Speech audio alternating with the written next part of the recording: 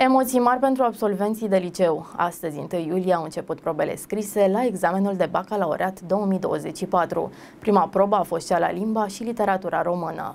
La prima cerință, elevii au avut de rezolvat mai multe exerciții bazate pe un text suport. Subiectul al treilea a constat în elaborarea unui eseu despre particularitățile unei nuvele studiate. Examenul a început la ora 9, iar candidații au avut la dispoziție 3 ore să rezolve subiectele primite. Subiectele au fost diferite în funcție de profilul terminat, uman sau real.